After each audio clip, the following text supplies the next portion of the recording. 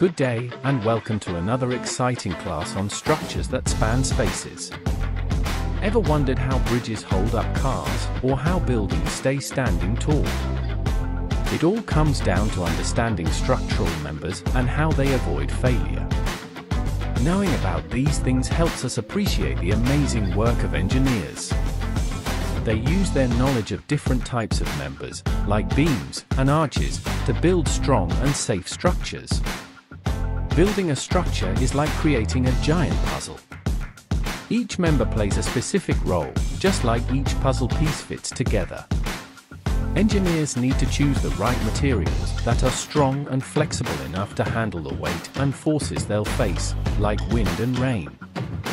There are many different types of structures that span a space, and these include beams, alternative bridge supports, arches and cantilevers. Today, we will discuss these in more detail. Structures that span over space are structures that cover a large area without intermediate supports. The space between two supports is called a span, for example, the space between the two banks of a river. The structure that is commonly used to span over a space is a bridge. Structures that span a space also include roofs and stadiums. These structures are designed to bridge a gap and support weight over a distance. Bridges must be able to carry their own weight and the weight of the vehicles that travel over them. Beams are horizontal members that resist bending. They carry weight by transferring the load to supports at either end. They support the load from above and also span over space. Beams can be made of steel or concrete. There are three types of beams and these include steel I-beams, or girders, concrete lintels and the beam and column bridge. An I-beam is a specialized beam shaped to look like a capital letter I. It does not bend easily.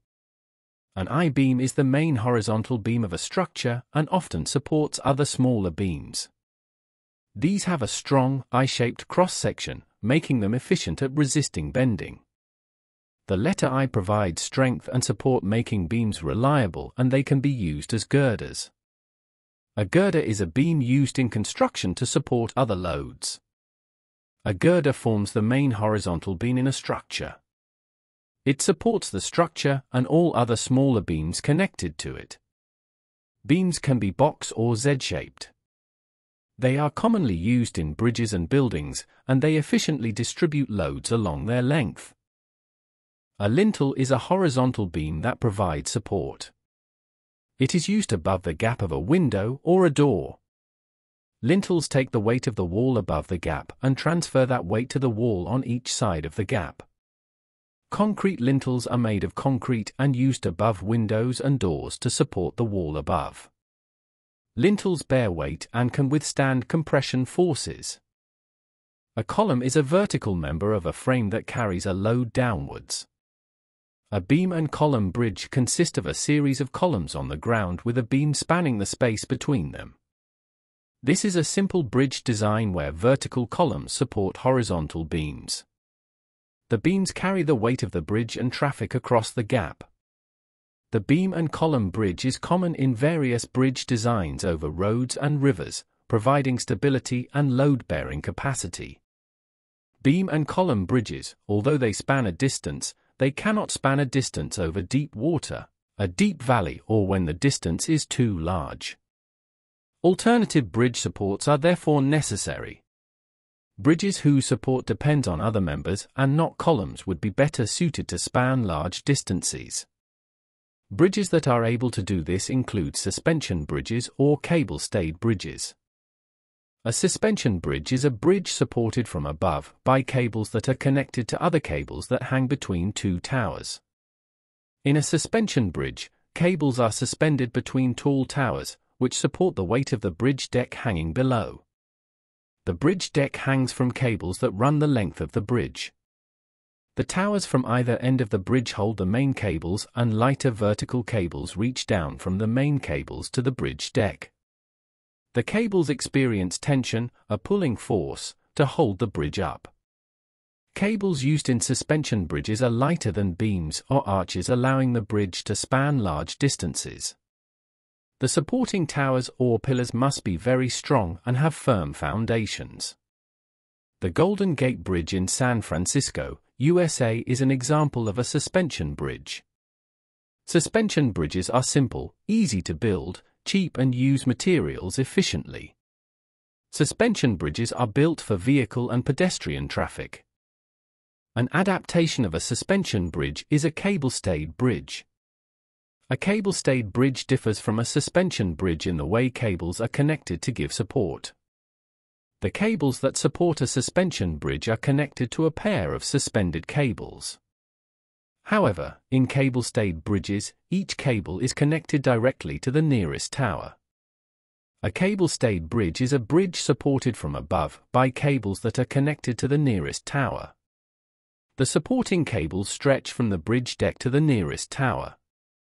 Towers support the beam or deck of the bridge, and they bear the load of the bridge. Cable-stayed, however span a shorter distance than a suspension bridge. A prominent example of a cable-stayed bridge is the Nelson Mandela Bridge. An arch is a curved structure that can support a lot of weight. Arches can withstand compression forces. An arch supports a horizontal structure, and its shape helps to transfer the force of its weight and any weight pressing down on top of it, down its side supports to its base. Arched structures can span greater distances than beams. The arch spreads the force over a larger area. They can be made of stone, brick, concrete, steel or other materials. Arches are commonly seen in historical architecture and modern constructions. Arches can be used in bridges, buildings, and dam walls. The use of arches in buildings started in the ancient times. In ancient times, the available building materials would break very easily under tension forces. People commonly used arches in buildings to prevent this from happening. Arches were built of stone. The compression forces between the stones in an arch push the stones together more tightly. In this way, compression forces lock the stones in the arch. Arches can create large open spaces without needing columns in the middle, allowing for architectural freedom. The Romans designed arch bridges and used them until the Industrial Revolution. This kind of bridge could be built simply with shaped blocks of stone and without complicated joints. There are different types of arch bridges. Before people started using iron and steel to build bridges, arch bridges were built with stone. In ancient times, arch bridges could support heavier loads than horizontal beam bridges. Arch bridges transfer the weight of the deck down through the curved arch to the ground at its ends. Arches allow column and beam bridges to span greater distances. Column and beam bridges have added support that the arch provides. Columns can be placed further apart as the arch supports the weight of the traffic on the bridge. Arches are also used in dam walls.